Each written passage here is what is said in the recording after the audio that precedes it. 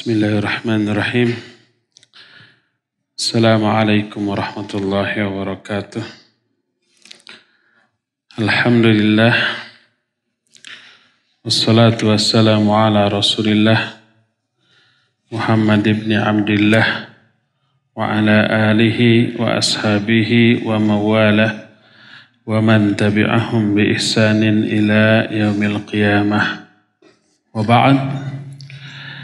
Hadirin ikhwan wal akhwat a'azzanallah wa iyyakum baik hadirin yang ada di Masjid uh, Cipaganti ataupun para pendengar Radio Roja Bandung di mana saja Anda berada. Alhamdulillah kita jumpa sekalipun sedikit agak telat. Nggak sampai satu jam. Cuma 59 menit. Mohon maaf. Kita kembali berjumpa untuk melanjutkan kajian tentang sebab-sebab turun dan naiknya iman. Kita sudah membahas empat sebab ya. Empat sebab itu adalah yang pertama membaca Al-Quran, yang kedua mengenal asma dan sifat Allah Azza wa Jalla, yang ketiganya memperhatikan sirah Nabi Sallallahu Alaihi Wasallam, yang keempat memperhatikan keindahan Islam, dan sekarang kita masuki poin yang kelima dari sebab-sebab bertambahnya iman. Poin kelima ini adalah qiraatu siratis salafi hadhil ummah. Membaca sirah atau biografi generasi salaf dari umat ini. Yang dimaksud dengan generasi salaf dari umat ini adalah tiga generasi awal dari umat Islam ini. Mereka adalah para sahabat Nabi Shallallahu Alaihi Wasallam, kemudian tabiin yang mengikuti mereka dengan kebaikan dan tabi'ut tabiin. Sahabat adalah orang-orang yang sezaman dengan Nabi Shallallahu Alaihi Wasallam bertemu Islam dan mati dalam keadaan Islam. Empat kriteria sahabat. Pertama, dia sezaman dengan Nabi SAW. Kedua, bertemu ketika Islam. Keempat, mati dalam keadaan Muslim. Satu aja di antara kriteria yang empat tadi tidak dimiliki, berarti dia bukan sahabat. Umpamanya bertemu sezaman tapi tidak Islam. Seperti Abu Jahal dan yang lain-lainnya itu bukan sahabat. Bertemu kemudian iman atau Islam kemudian sezaman tapi matinya dalam keadaan kafir alias murtad dia juga bukan sahabat sezaman iman dan mati dalam keadaan iman tapi tidak bertemu. Seperti siapa? Penguasa Habsyi, Kaisar Najasyi. Tidak bertemu, tapi iman. Sejaman dan mati dalam keadaan Islam. Dan ketika mati Nabi SAW masih hidup Lalu beliau memberitahukan atas wahyu dari Allah, matal yauma akhukumus salih. Dalam riwayat lain, matal yauma Abdullahis salih. Pada hari ini, seorang hamba yang soleh telah wafat. Fasallu alaih, maka solatkan oleh kalian. Lalu Nabi SAW menyolatkan bersama para sahabatnya. Itulah empat kriteria sahabat. Mereka lah yang dimaksud dengan generasi salaf dari umat ini. Salaf artinya generasi terdahulu. Demikian juga orang-orang yang mengikuti para sahabat di dalam memahami Islam. Yang dimaksud mengikuti sahabat bukan mengikuti potongan rambutnya, bukan mengikuti cara berpakaiannya, bukan mengikuti rigid jalannya, rigid itu ya cara ketika berjalan, tapi mengikuti pemahaman dan pengamalan para sahabat tentang Islam. Diikutilah para sahabat oleh generasi berikutnya dan tiga generasi inilah yang disebut dengan generasi salaf. Sahabat, tabi'in dan tabi'ut tabi'in dan merekalah sebaik-baik umat yang pernah lahir di alam dunia ini. Sebagaimana sabda Nabi Shallallahu Alaihi Wasallam khairun nas qarni thumma alladhina yalunahum thumma alladhina yalunahum sebaik-baik manusia adalah manusia yang hidup satu generasi dengan aku kemudian generasi berikutnya kemudian generasi berikutnya tiga generasi yang disebut oleh Nabi Shallallahu Alaihi Wasallam Allah pun menjelaskan dalam Al-Quran kuntum khaira ummatin. Kalian adalah sebaik-baik umat. Khaira ummatin, ummatin digunakan tanwin bukan khairal ummati, tidak dengan alif lam yang menunjukkan seluruh umat yang pernah ada di dunia ini sejak zaman Nabi Adam sampai manusia yang kelak hidup di akhir zaman. Kuntum khaira ummatin kalian sebaik-baik umat dan yang dimaksud kalian di sini adalah kalian orang-orang yang hidup ketika ayat ini turun. Siapa? Para sahabat. Kuntum khaira ummatin ukhrijat linnas yang pernah dilahirkan ke tengah-tengah manusia. Merekalah sebaik-baik generasi. Merekalah pelindung dari ajaran Islam ini. Merekalah pemberi petunjuk kepada makhluk. Merekalah saksi hidup seluruh peristiwa dan kejadian dari sejarah perjuangan Nabi Shallallahu Alaihi Wasallam. Tidak hanya sebagai saksi sekaligus menjadi pelaku Merekalah pemikul agama ini dan mereka pula yang menyampaikan agama ini ke generasi berikutnya, berikutnya, berikutnya sampai ke zaman kita. Merekalah manusia yang paling kuat keimanannya, yang paling mendalam ilmunya, yang paling baik hatinya, yang paling suci jiwanya dan pernyataan tersebut bukan sekedar perkataan para ulama, tapi berdasarkan nas, baik Al-Quran ataupun hadis Nabi Sallallahu Alaihi Wasallam. Riwayat dari Abdullah bin Mas'ud radhiyallahu an menyatakan Inna Allah yanzuru ila qulubil ibad. Fawajada anna qalba Muhammadin sallallahu alaihi wasallam khairu khairu qulubil ibad. Fastafahu li nafsihi wabta'athahu li risalati Sesungguhnya Allah melihat kepada hati seluruh manusia dari zaman Nabi Adam sampai manusia yang kelak akan hidup di akhir zaman orangnya belum ada, tapi Allah sudah mengetahui hati orang-orang yang belum ada tadi. Makanya disebut Allah itu maha latif dan maha khabir. Mengetahui apa yang belum terjadi. Mengetahui kalau itu nanti terjadi bagaimana itu terjadi. Termasuk hati seluruh hamba, hambanya belum lahir. Tapi kalau kelak mereka lahir, Allah sudah tahu bagaimana keadaan hatinya. Allah melihat ke seluruh hati manusia. Dari awal sampai akhir. Lalu Allah menemukan bahwa hati Muhammad Sallallahu Alaihi Wasallam sebaik-baik hati manusia.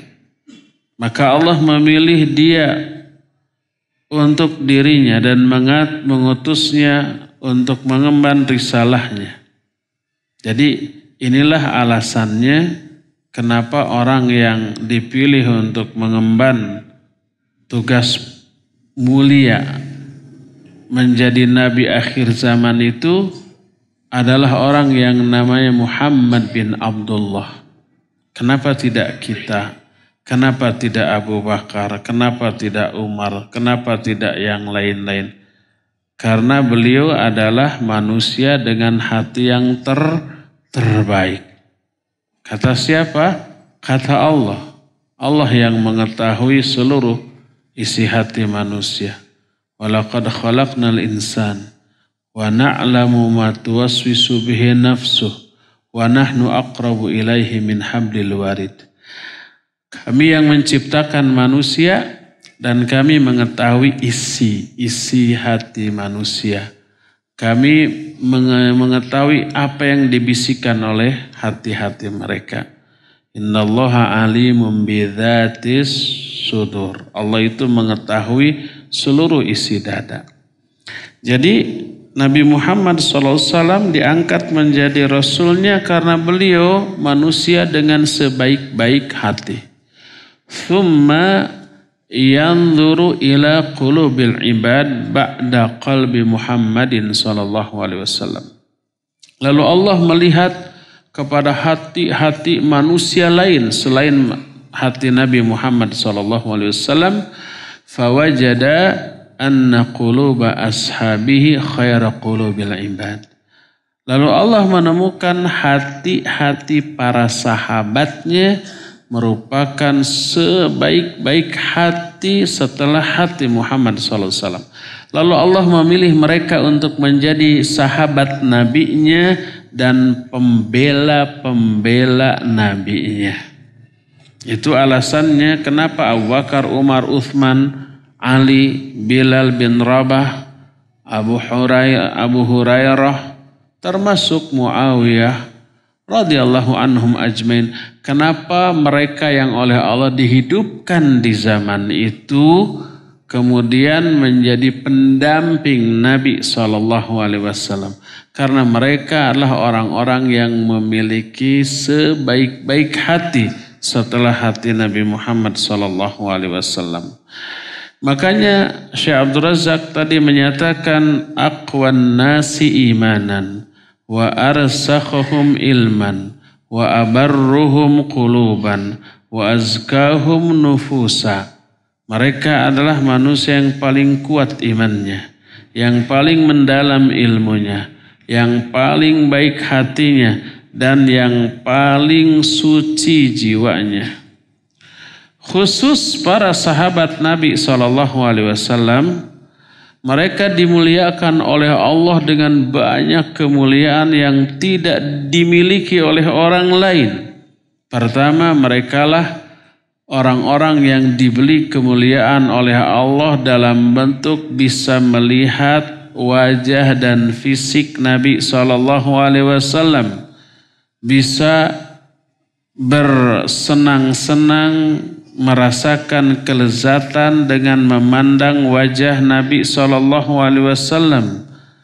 Mereka Allah muliakan dengan cara bisa langsung mendengar suara Nabi Alaihi Wasallam dan terhibur dengan ucapan hadis Nabi Shallallahu Alaihi Wasallam. Mereka lah orang-orang yang langsung mengambil agama ini dari sumbernya yaitu Nabi SAW yang merupakan utusan Allah. Tidak ada mata rantai lain untuk mengambil agama ini bagi mereka. Bagi para sahabat. Langsung ke sumber. Kalau kita kan mata rantai kita panjang amat gitu kan. Oleh karena itulah kualitas ibadah kita dengan mereka jangan dibandingkan kualitas akidah kita dengan mereka, malu kita untuk memperbandingkannya. Mereka lah yang memiliki sekuat-kuat hati, setenang-tenang jiwa, dan ketegaran yang mengalahkan tegarnya sebuah gunung yang kokoh. Gunungnya jangan dibayangkan gunung di kita yang bisa dikeruk, bisa diratakan, bisa dibuat menjadi perumahan. Tapi di gunung di sana mah gunung batu cadas yang sangat keras yang kokohnya bisa terbayangkan terdiri dari batu-batu yang sangat kuat. Berbeda dengan gunung di kita. Ketegaran para sahabat itu melebihi kekuatan gunung yang sangat tangguh. Sampai dikatakan oleh umpamanya Ammar bin Yasir radhiyallahu anhuma ketika beliau disiksa hebat oleh para kufar lalu beliau curhat kepada Nabi SAW, wahai Rasulullah, sungguhnya aku telah menerima siksaan yang apabila siksaan ini ditimpakan kepada sebuah gunung, niscaya gunung itu akan hancur berkeping-keping. Saking dahsyatnya itu siksaan pada saat itu yang dialami oleh para sahabat. Berdasarkan hal itulah maka pantas apabila Allah memuji mereka dengan mengatakan kuntum khaira ummatin. Kalian sebaik-baik umat. Yang dimaksud kalian sebaik-baik umat annahum khairul umam wa anfa'un nas linnas. Bahwa mereka itu adalah umat terbaik dan umat yang paling bermanfaat bagi manusia yang lainnya. Dalam Sahih Muslim sebuah hadis dari Abu Hurairah radhiyallahu anhu, Rasul sallallahu alaihi wasallam bersabda, "Khairu ummati al-qarnu alladhi bu'ithu fihi thumma alladhina yalunahum." Kata beliau, sebaik-baik umatku adalah generasi ketika aku diutus ke tengah-tengah mereka. Generasi siapa? Generasi para sahabat dan setelah itu barulah generasi yang berikutnya, generasi yang berikutnya. Setelah mengetahui sehebat itu para sahabat atau generasi salafus soleh, maka siapa pun orang yang memperhatikan keadaan mereka, membaca biografi mereka, mengetahui keindahan jalan hidup mereka, memperhatikan kemuliaan akhlak yang mereka miliki, juga memperhatikan kesempurnaan sikap taasi mereka kepada Rasul Sallallahu Alaihi Wasallam. Taasi itu apa? Mengikuti, menjadikan Nabi Sallallahu Alaihi Wasallam sebagai uswah mau tahu hikmahnya atau tidak, mau tahu alasannya atau tidak, melihat Nabi berbuat begitu, mereka langsung berbuat begitu. Melihat Nabi SAW melakukan begini, mereka langsung mengikuti melakukan begini. Tanpa bertanya, kenapa begitu, kenapa begini, apa alasannya, enggak. Dan contoh-contoh tentang hal itu sudah kita jelaskan dalam beberapa pengajian yang lalu. Contohnya umpamanya ketika beliau sedang sholat dengan memakai sendal, para sahabat juga di belakang sholat memakai sendal. Di tengah-tengah sholat beliau membuka sendalnya dan diletakkan di sebelah kirinya. Lihat begitu, para sahabat langsung buka sendal. Disimpan di sebelah kiri. Gak tahu apa alasan. Selesai sholat, Nabi menegur, kenapa kalian lepas sendal-sendal kalian? Dijawab karena kami lihat engkau melepas, kami juga lepas. Walaupun nggak tahu apa alasannya, apa hikmahnya. Lalu Nabi SAW bersabda, tadi datang Jibril membisikkan bahwa di sendalku ada najis, makanya aku buka. Ya, dan banyak riwayat yang lainnya yang menjelaskan sempurnanya sikap taasi para sahabat terhadap Nabi SAW.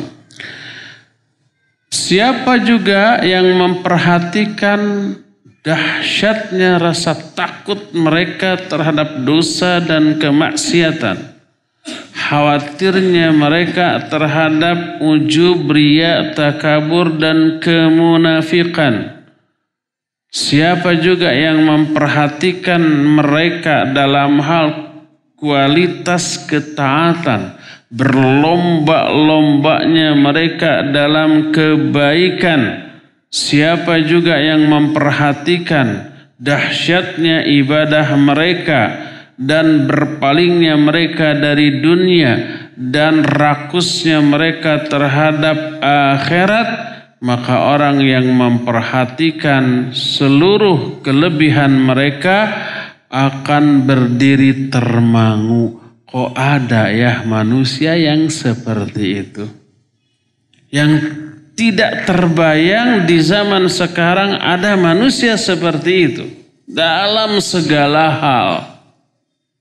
Pernah nggak umpamanya antum mendengar kalau saya pernah mengatakan ini berkali-kali.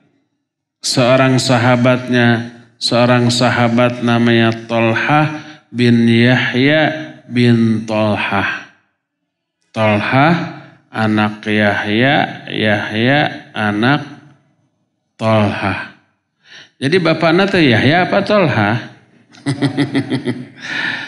Yahya punya bapak namanya, eh Tolha punya bapak namanya Yahya. Yahya punya bapak namanya Tolha. Jadi Aki jeng Incu namanya sama-sama Tolha. Jangan tanya apakah Tolhah yang sang cucu punya anak-anaknya Yahya? Jangan tanya, wallahu alam. Tolha ini pernah menuturkan bahwa sang nenek, nenek Tolha. Berarti nenek Tolha ini istrinya siapa? Istrinya Tolha, sang kakeknya. Kata sang nenek, suatu saat Tolha datang menemui aku. Tolha siapa yang menemui? Sang kakek. Dalam keadaan murung, dalam keadaan sedih, seperti bingung dan stres. Kemudian berkatalah sang istri, istrinya ini neneknya Tolha, tanya. Neneknya Tolha ini istrinya Tolha. Ada apa? Adakah kesalahan yang aku lakukan yang membuat engkau murung? Dijawablah, nikmah halilalul mar'i anti. Enggak. Sebaik-baik istri seseorang adalah engkau. Engkau ini istri terbaik. Fama sya'nuk? Lalu apa masalahmu? Kok murung dan sedih? Apa jawab beliau? Innal mala indi qad kathurat wa akrobani. Karena harta yang aku miliki bertambah banyak dan ini yang membuat aku sedih. Anehnya hartanya bertambah banyak tapi malah tambah sedih. Terbalik sedikit dengan kita. Kita mah kalau uang banyak sumringah. Tapi kalau umpamanya dompetnya kosong baru kelihatan tuh. Banyak uang atau tidaknya kelihatan dari wajah. Kalau orang kita sekarang. Kalau zaman dahulu begitu, sedih karena uangnya tambah banyak. Apa kata istri? Istrinya nggak matre. Bagikan saja sudah. Akhirnya seluruh kekayaan dibagikan sampai tak ada satu dirham pun yang tersisa. Mendengar cerita sang nenek tentang kakeknya, maka Tolhah ini cepat-cepat mencari orang yang dahulu ditugaskan untuk membagikan harta kakeknya. Kam kanal malul ladhi qasam. Berapa harta yang dahulu dibagikan oleh kakeknya? Dijawab 400 ribu dirham. Kita belum tercengang karena masih dalam bentuk dirham. Belum dalam bentuk rupiah sabarah lagi 400 ribu artinya 400 ribu dirham. Satu dirham sekarang kalau kita beli 70 ribu. Kalau jual 60 ribu. Rugi berapa? 10 ribu. Beda dengan dinar. Kalau dinar bisa dua setengah juta satu dinar. Jadi satu dirhamnya 70 ribu. Kali 400 ribu. 7 kali 4 berapa? 28. 400 ribu nolnya 5 ya. 70 ribu nolnya 4. 5 tambah 4 9. 28 dengan 9 nol berapa? 28 miliar. Dibagi habis. Tak tersisa walaupun satu dirham. Ada nggak orang zaman sekarang yang seperti itu? Seolah-olah kok ada ya orang yang kayak itu ya zaman dahulu gitu kan. Yang sekarang ini mustahil, hampir mustahil atau bahkan benar-benar mustahil ada orang seperti 28 miliar itu wah segede apa. Kalau umpamanya itu berwujud bungklekan 100 ribuan itu berapa karungan gitu, berapa treken kalau dibagi kepada orang sehari habis enggak? Habis. Orang dari mana-mana datang gitu ya. Jadi kok ada orang seperti itu ya? Orang termangu melihat kehebatan para sahabat dalam hal infak. Pernah dengar juga kan kisah Abu Bakar dan Umar yang bersaing secara sehat dalam hal kebaikan Nabi SAW kata Umar bin Khattab amaran amaran Nabi SAW eh, ayyata saddaqa fawafaqa indiman. Nabi SAW merintahkan kami untuk sodakoh. Kebetulan aku sedang ada harta. Fajitu binis fimali. Aku datang kepada Nabi SAW dengan setengah dari hartaku. 50 persen. Ya Rasulullah ini sodakoh untukku. Melihat sodakoh yang begitu banyak. Nabi selesai bertanya. Ma abu li ahlik. Apa yang kamu sisakan untuk keluargamu? Kata Umar. Abu lahu mithlahu. Aku sisakan bagi mereka sebanyak ini pula. 50-50 kan dibagi dua. Faja'a Abu Bakrin bikulli ma indahu. Tiba-tiba datang Abu Bakar membawa seluruh harta yang dimilikinya. Umar 50% ini 100%. Jauh lebih banyak daripada Umar. Nabi SAW pun sampai menyatakan ma'abqaita li ahlik. Apa yang kamu sisakan untuk keluargamu? Apa jawab Abu Bakar? Abqaitu lahumullah wa rasulah.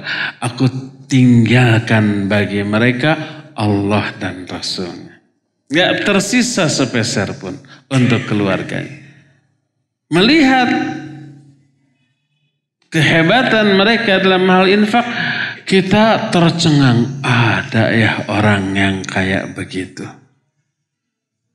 Oleh karena itulah Siapa pun orang yang melihat kehebatan mereka dalam seluruh kebaikan. Itu baru hal infak. Belum hal belum dalam hal jihad, belum dalam hal ibadah, belum dalam hal bagaimana rasa takutnya mereka kepada Allah Subhanahu wa taala, belum dalam hal berpalingnya mereka dari kesenangan dunia dan seterusnya dan seterusnya. Siapa pun yang melihat, memperhatikan akhlak mereka, pengorbanan mereka, jihad mereka, perjuangan mereka, sempurnanya sikap taasi mereka kepada Rasul Sallallahu Alaihi Wasallam, maka siapa pun akan termangu, tercengang, terbelalak dan tidak bisa menyembunyikan decak kekaguman terhadap kehebatan-kehebatan mereka. Sebuah syair menyatakan karir alayya hadithahum ya hadi fahadithuhum yajlil fuadas sadi Ulang-ulang ucapan mereka kepadaku wahai para penentang Maksudnya para penentang ajaran. Coba ulang-ulang ucapan para sahabat kepada kami, maka ucapan mereka bisa membersihkan hati yang selama ini ternoda. Ucapan para sahabat bisa menyebabkan hati terobati. Coba nanti ya hari hari Kamis kita ada kajian tentang amalan hati di mana cong? Di mana coba? Bukan cong. Di Walai Kota, Walai Kota di Al Uhwah kami sore ya kalau nggak salah.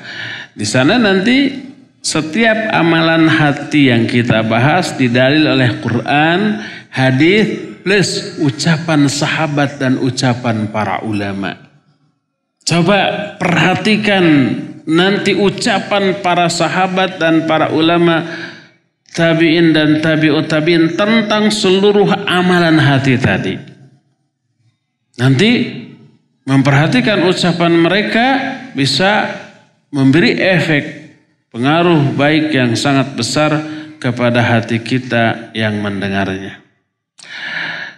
Karena hebatnya sirah, sejarah, perjuangan para sahabat yang syarat dengan kebaikan dan contoh, maka ribuan kitab menuliskan tentang biografi mereka.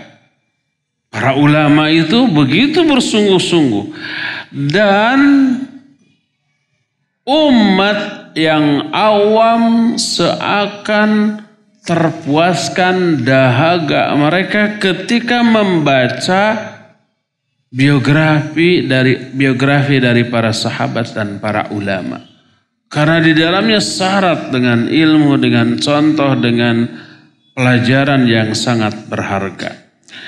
Baik dalam bab sejarah maupun dalam hal kezuhudan mereka maupun dalam raqaik dan warak mereka.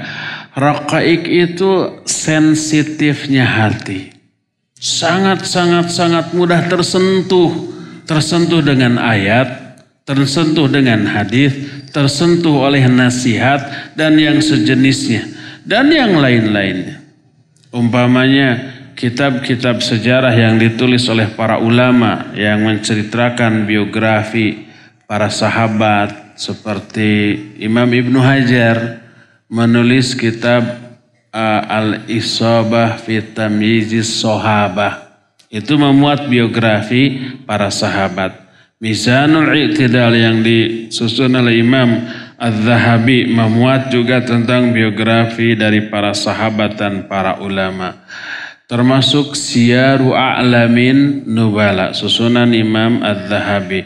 Itu juga termasuk kitab yang berisi sejarah yang luar biasa dan tebalnya sama setebal mushaf Al-Quran dan berisi puluhan jilid. Demikian juga kitab An-Nihaya Al-Bidayah wan Nihaya Sunan Imam Ibnu Kathir demikian juga uh, Al-Imam Ibn Qayyim Al-Jauziyah memuat uh, sejarah Nabi SAW yang berjudul uh, Fi Hadi Khairul Ibad atau Zadul Ma'an Fi Hadi Khairul Ibad dan seterusnya dan seterusnya. Membaca seluruh kisah para sahabat dan para ulama as-salafus soleh tidak diragukan lagi bisa menambah iman dan menguatkan iman bisa menambah ilmu dan mengokohkan tertancapnya ilmu itu di dalam hati para pembacanya atau hati para pendengarnya. Oleh karena itulah, maka salah satu di antara penyebab bertambahnya iman adalah membaca, mendengarkan, mempelajari, menelaah sirah para sahabat. Di dianggap selesai karena waktunya sudah mau habis ya. Cukup sampai di sini dulu. Nanti lain kali jangan telat datangnya agar agak panjang ya. Sisa waktu yang ada kita gunakan untuk tanya jawab. Apabila ada pertanyaan dipersilakan. Wassalamualaikum Muhammadin wa ala alihi wa ashabi wassalam.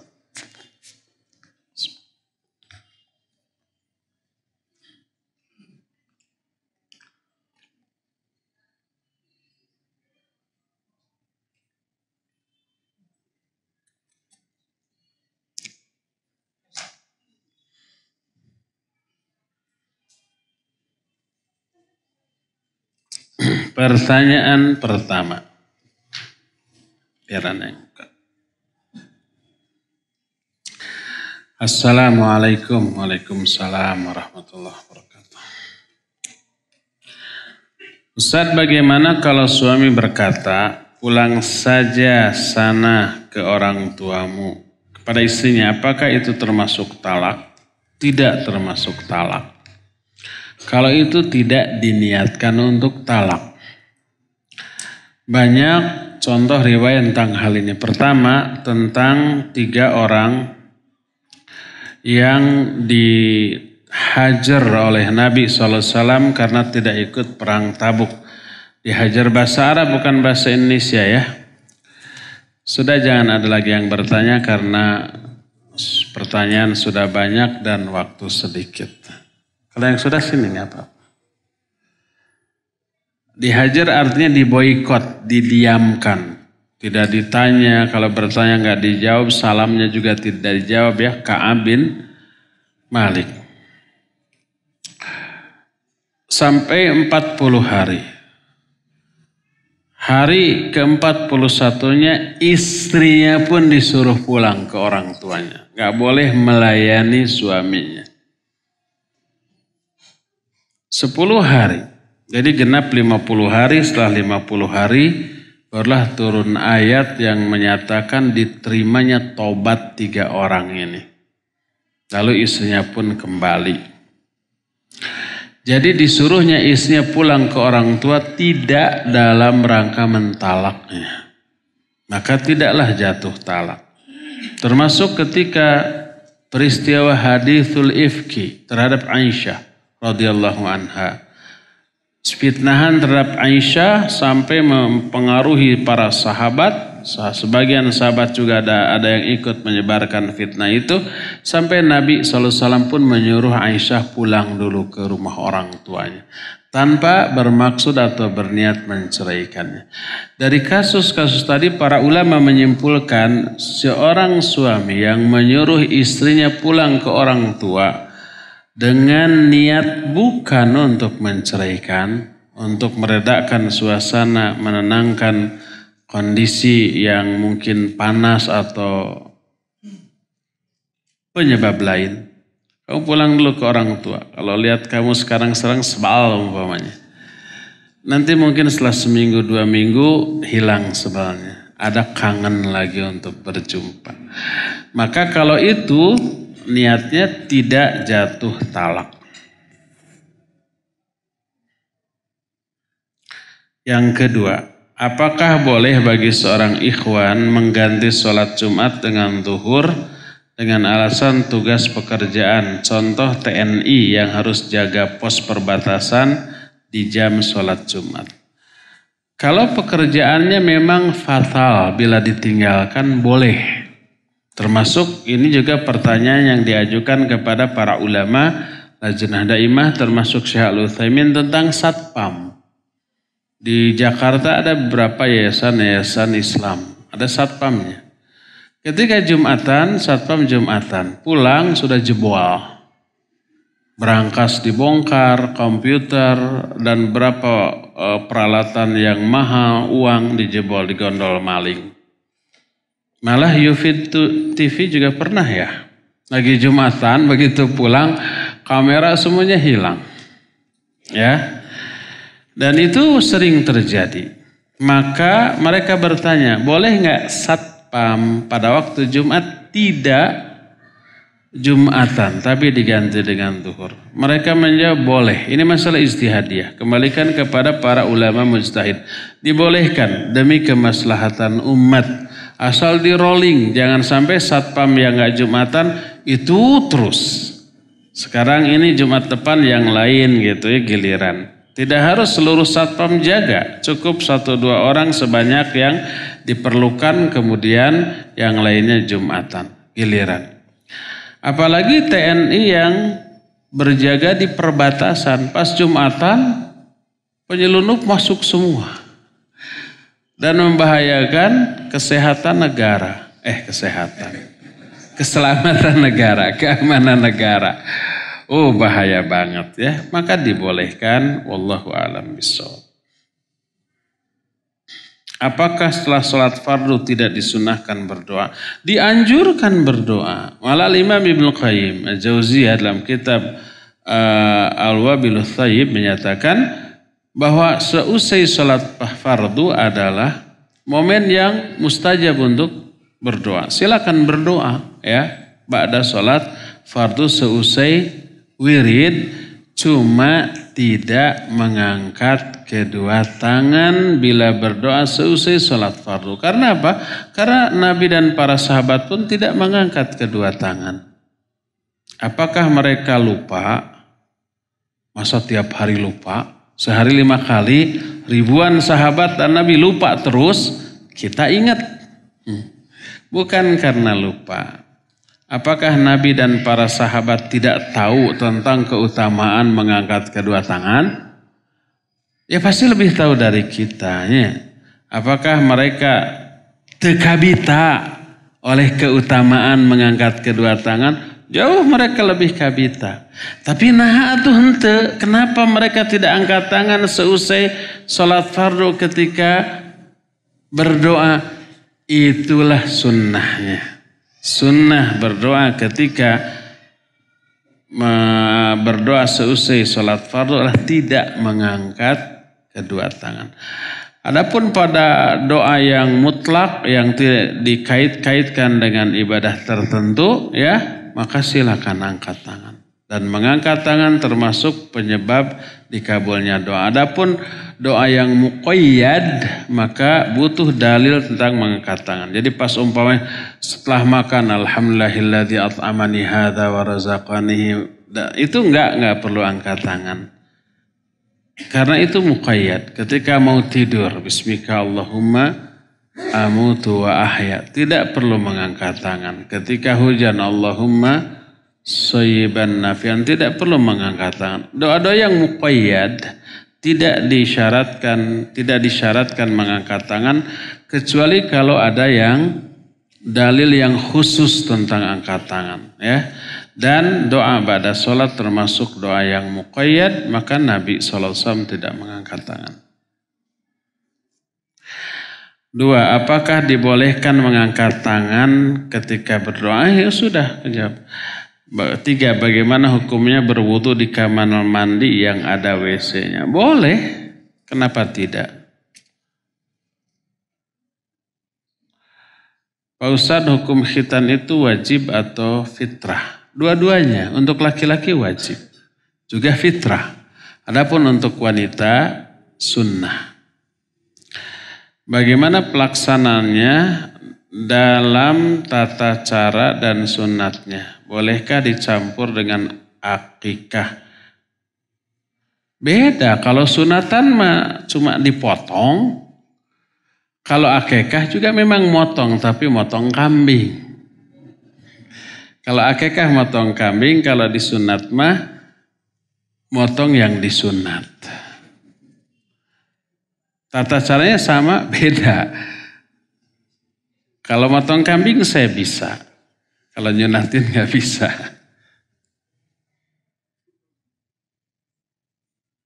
Bagaimana pelaksanaan sunat? Ka dokter welah gitunya.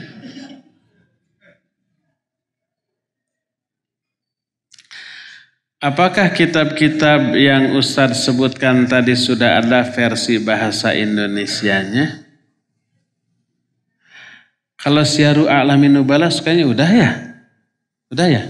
Syiaru Alamin Nubala udah kalau nggak salah ya. Ada terjemahannya. Terus apa lagi? Zadul Ma'an fi hadi khairul ibad juga sudah.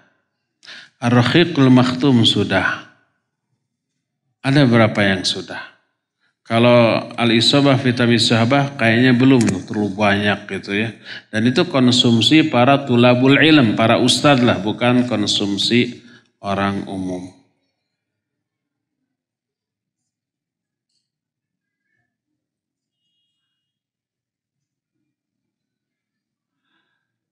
Mohon nasihat dan bimbingannya. Bagaimana mensikapi turunnya iman jika dihadapkan pada sikap suami kita yang sebenarnya beliaulah yang membimbing saya mengenal sunnah. Namun setelah beberapa bulan pernikahan, mulai nampak beberapa sikap yang menurut pemahaman saya menyalahi sunnah.